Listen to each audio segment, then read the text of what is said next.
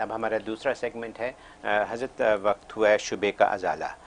شبے کا ازالہ کچھ یوں ہے کہ پچھلے ہفتے ہم نے صد گرو جو ہندوستان میں ہیں، ان کے حوالے سے ایک بات کی تھی کہ انہوں نے مذہب کے لیے کہا ہے کہ یہ مذہب جو ہے یہ بڑی ایک ایسی چیز ہے جو انسان کے سوچنے سمجھنے کی صلاحیت کو کمزور کر دیتی ہے۔ تو اس لیے مذہب کوئی چیز نہیں ہے اس دنیا میں۔ ان کا یہ کہنا تھا۔ انہی کی طرف سے کیونکہ یہ لوگوں نے بڑا اس کو اپریشیٹ کیا اور اور اب ہمیں کسی نے ایک اور انہی کے حوالے سے ایک اور شبہ بھیجا اور وہ شبہ کچھ یوں ہیں۔ وہ یہ کہتے ہیں کہ یہ جو جیسے کھانے پینے کے بارے میں انہوں نے بات کی ہے، وہ یہ کہتے ہیں کہ جیسے کہ کھانے کی چیزیں وہ ہونی چاہیے جن سے ہماری کوئی ایسی ایسوسیشن نہ ہو کوئی جذباتی ایسوسیشن نہ ہو، اور جب ہم وہ ایسی چیزیں کھاتے ہیں، جیسے سبزیاں ہیں یا پھل ہیں، جب ہم کھاتے ہیں تو آسانی سے ہضم ہو جاتے ہیں۔ اس کی وجہ ہے کہ ان سے ہماری کوئی ایسوسیشن نہیں ہے، کوئی کوئی ایموشنل اٹیچمنٹ نہیں ہے۔ تو اس حساب سے انہوں نے یہ کہا ہے کہ گائے جیسا جانور جو ہے، وہ انسان کے ساتھ بہت ایموشنلی اٹیچ ہوتا ہے۔ گائے جو ہے وہ انسان اگر رو رہا ہو تو اس کے ساتھ گائے، پالتو گائے جو وہ روتی ہے یا یا خوشی کا اظہار کرتی ہے۔ جب خوشی ہوتی ہے تو دودھ زیادہ دیتی ہے، وغیرہ وغیرہ۔ تو گائے کافی ایموشنلی اٹیچ ہے۔ تو ان کا کہنا یہ ہے کہ اگر اس طریقے سے جب گائے کو آپ کاٹ کے کھاتے ہیں تو وہ آپ کے لیے ہضم کرنا بڑا مشکل ہو جاتا ہے کیونکہ ایموشنل اٹیچمنٹ کی وجہ سے۔ تو وہ وہ یہ ان کا کہنا ہے کہ گائے اور اور اور یہ ہماری اسپریچولیٹی جو ہے اس کو نقصان پہنچاتی ہے۔ تو تو یہ یہ ایک انہوں نے ایک عجیب سی منطق پیش کی ہے۔ اور اور آپ فرمائیے کہ اس میں انہوں نے جو بات کی اس میں کچھ صداقت یا کسی قسم کی کوئی ایسی بات ہے جس کو کہیں ماننے کی کوشش کی جائے یا میرے تو خیال میں بیکار بات ہے بھارت بکیا ویڈیو دیکھنے سے پہلے ویڈیو کو لائک کریں رحم ٹی وی چینل کو سبسکرائب کریں اور بیل آئیکن پر کلک کریں۔ شکریہ۔ بڑا بڑا بیکار سا فلسفہ پیش کیا انہوں نے۔ جی جی۔ اور پہلی بات تو یہ کوئی ایسی شخصیت نہیں ہے کہ ان کا تذکرہ بار بار ہم کریں جی۔ اور ان کی سوالوں کو اٹھائیں۔ جی۔ کیونکہ یہ جو فرسودہ سی باتیں ہیں۔ جی۔ پہلی بات تو اگر یہ بات ہے جو انہوں نے یہ بتایا کہ ایموشنلی اٹیچمنٹ کی وجہ سے جی۔ گائے کو اٹیچمنٹ ایموشنلی بندے سے ہو جاتی ہے لہٰذا ہماری اسپرچولیٹی کو خراب کرتی ہے۔ جی۔ تو پھر تو سبزیاں بھی کھانا چھوڑ دیں۔ جی۔ کیونکہ یہ نباتات کو بھی انسان کے ساتھ اسی طرح کی ایموشن اٹیچمنٹ ہوتی ہے۔ اچھا۔ اور یہ تو حدیث سے ثابت ہے جی۔ کہ نبی کریم صلی اللہ علیہ وسلم جو ہے وہ جس کھجور کے تنے کے ساتھ ٹیک لگا کے خطبہ دیا کرتے تھے۔ جی۔ تو جب آپ کا ممبر بن گیا تو آپ ممبر پہ کھڑے ہو کے خطبہ دینے لگے تو وہ وہ جو مڈ جو ہے وہ تنا رونے لگ گیا۔ بچے کی طرح رونے کی آواز آئی۔ اچھا۔ صحابہ حیران کی یہ بچہ کہاں رو رہا ہے؟ جی۔ تو آ حضرت صلی اللہ علیہ وسلم ممبر سے اترے۔ اور وہ جو وہ مڈ جو تھا کھجور کا جی۔ اس کو اس کے کان میں کچھ کہا ہاتھ رکھ کے نا ہاں ہاں۔ پیار کے کچھ کہا۔ اس کے بعد وہ ایسے چپ ہوا حدیث میں آتا ہے جیسے بچے کے منہ میں دودھ نہیں مار ڈال دیتی ہوں کر کے چپ ہو گیا۔ ہاں۔ تو آپ ممبر پہ آ گئے اور فرمایا کہ اصل میں میں اس سے ٹیگ لگا کے خطبہ دیا کرتا تھا۔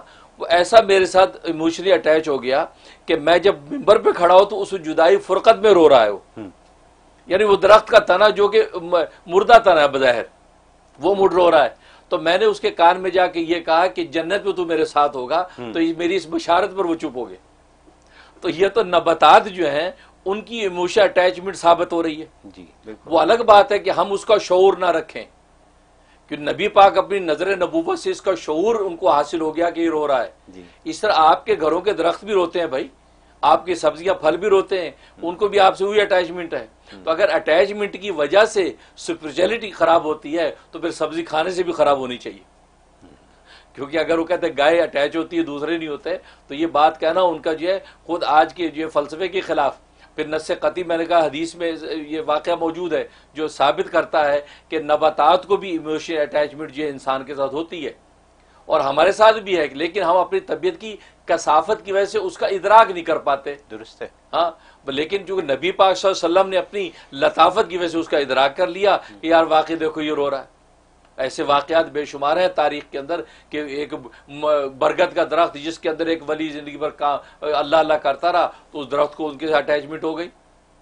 تو نباتات کے ساتھ اٹیچمنٹ کی اٹیچمنٹ ہونا بھی تو ثابت ہے۔ پھر آج کی جدید دنیا نے تو ثابت کر دیا کہ نباتات میں بھی زندگی ہوتی ہے۔ وہ ان میں بھی حیات ہے۔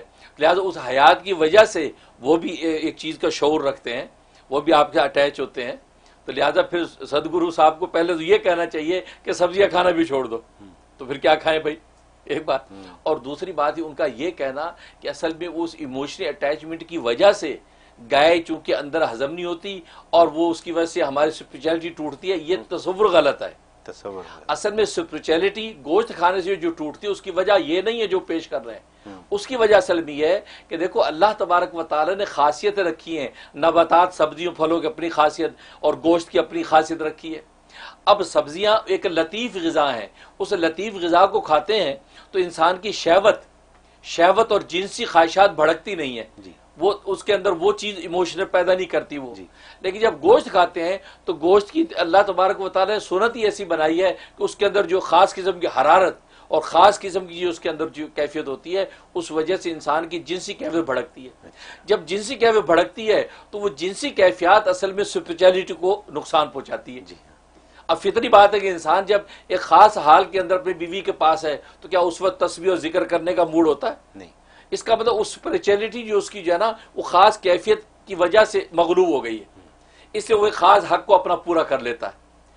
اسی طریقے سے یہاں گوشت کا جب غلبہ آتا ہے، تو گوشت کے اندر اللہ نے ایسی خاصیت رکھی ہے جس سے انسان کی جو ہے روحانیت جو ہے، وہ متاثر ہوتی ہے۔ نتیجہ یہ کہ وہ سپرجلٹی ہمیں ایسا لگتا ہے، یار گوشت کھانے سے شہوت بڑھ رہی ہے، لہٰذا نماز میں دل رکھ رہا ہے ذکر میں دل رکھ رہا ہے، تو انسان خاص ایک منشا کو پورا کرنا چاہتا ہے۔ تو وہ تو اس وجہ سے ہے۔ اس وجہ سے نہیں کہ گائے کو ایموشنل تعلق ہم سے لہٰذا گائے اندر جا کے ہضم نہیں ہوتی۔ بھائی وہ تو فزیکلی باڈی اور اس کی فزیکلی کیفیت کا اس کے ساتھ تعلق ہے کہ گوشت ویسے ایسی ثقیل غذا ہے۔ کہ اس کو زیادہ گردوں کو زیادہ محنت کرنی پڑتی ہے۔ زیادہ وہ مشکل سے ہضم کرتے ہیں۔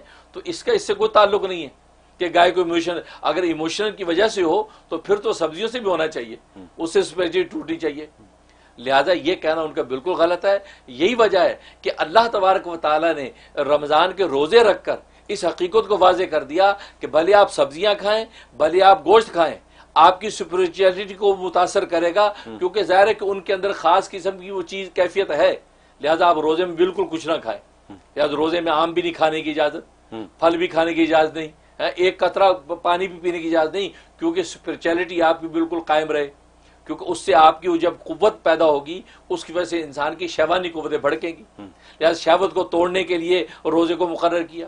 اور خود نبی نے فرما دیا کہ نوجوانوں اگر تم جو وہ نکاح نہیں کرنے کے قابل ہو تو روزے کثرت سے رکھو۔